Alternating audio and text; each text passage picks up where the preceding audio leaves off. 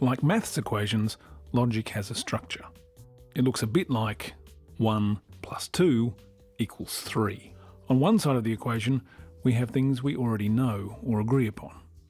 On the other side is an answer that's true so long as the numbers on the other side don't change.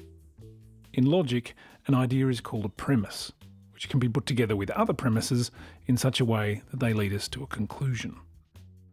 One premise might say magnets attract iron. The other premise might be this object is made from iron. Without seeing it, you can logically say that the magnet will attract this object. But what if you swap around the information? Say magnets attract iron and this object is attracted to magnets. Can you then say that this object is made from iron? Unfortunately not. It still looks like logic, but the conclusion no longer works.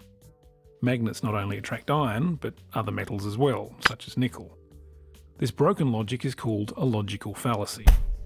This particular example is a formal fallacy, because its form looks similar to logic, but is false. In Latin, and in legal circles, it's called a non sequitur, which means does not follow. It's easy to mistake a logical fallacy for the real deal if you're not careful. People do it all the time, sometimes by accident, and sometimes to fool you. Knowing the structure of a logical argument is important. You wouldn't make the mistake of thinking 3 plus 2 equals 1. Rules are rules after all. Yet breaking the rules of logic can make an answer seem right when it isn't.